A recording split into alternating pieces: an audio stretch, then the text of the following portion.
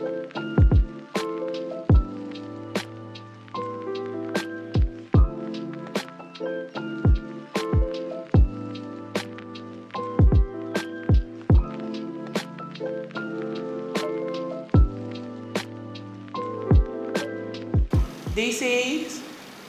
u bent bijkans twee jaren terug benoemd, beëdigd en geïnstalleerd als DC van geheel Suriname. Daarvoor hebt u gediend in verschillende disciplines. Het kan zijn in overheidsdienst of particuliere sector.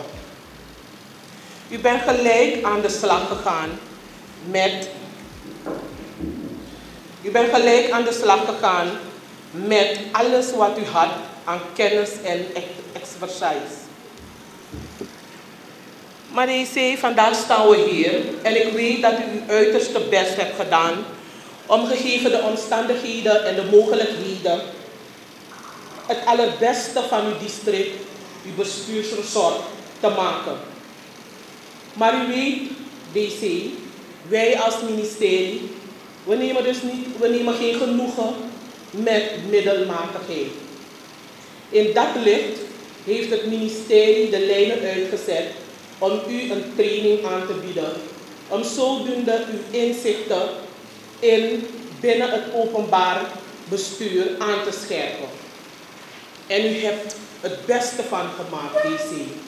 Want de training hebt u glansrijk afgerond en vandaag zijn we hier om u te feliciteren en succes toe te wensen in uw verdere carrière als burgervader en burgermoeder. Educatie is een onmisbaar gereedschap in ons leven.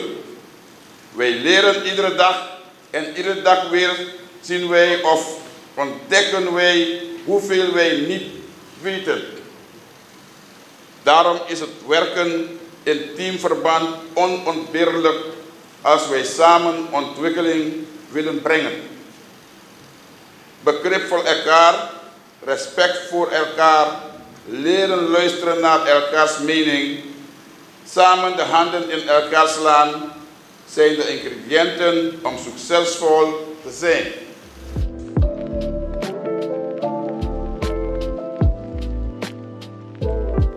Blijf je ontwikkelen, blijf je scholen. En ik eindig met de quote van Tammy Berberick, waarmee ik begonnen ben. Leader who develop great team and great outcomes recognize two things. Learning never ends. And extraordinary leadership habit influence the results. Ik zie jullie al ongeveer een anderhalf jaar geleden allemaal geïnstalleerd, beëdigd als districtscommissarissen. Volgens mij waren er maar één of twee uitzonderingen van personen die een beetje kijk hadden in de bestuursdienst en het functioneren van het uh, commissariaat. Maar de rest was nieuw. En plotseling daar geplaatst in uniform met zoveel verantwoordelijkheden. Voortvloeiend uit de grondwet, voortvloeiend uit verschillende wetten, bijzondere wetten, verordeningen, maar ook belast met verantwoordelijkheden over het district, uw verzorgingsgebied, uw personeel.